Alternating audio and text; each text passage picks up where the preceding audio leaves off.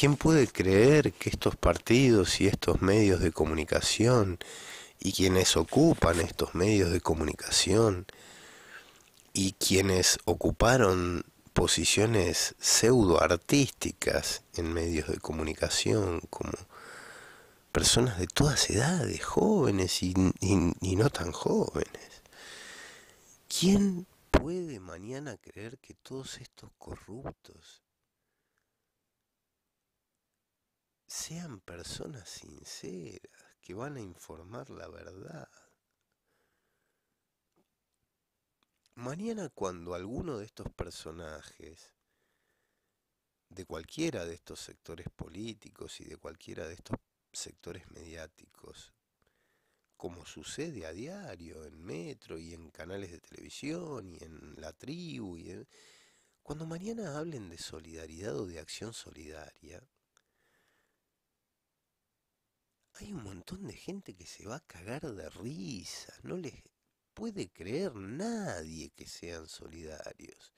¿Solidarios con qué? ¿Con quién? ¿Para qué? Cuando hay una inundación, son solidarios por prensa publicitaria política.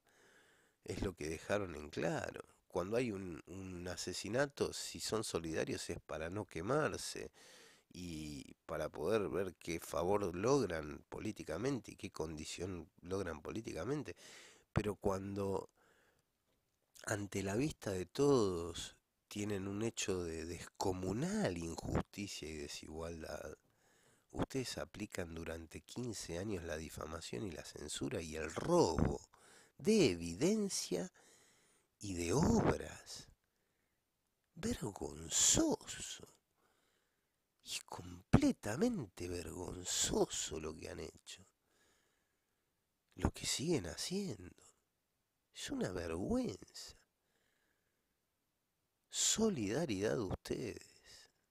Guevara decía que todo revolucionario y todo joven comunista debe sentirse dignificado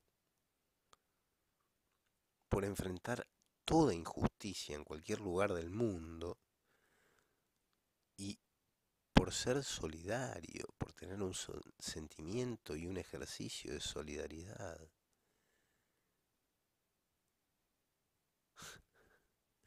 y ustedes, no, no, no vale la pena ni seguir hablando.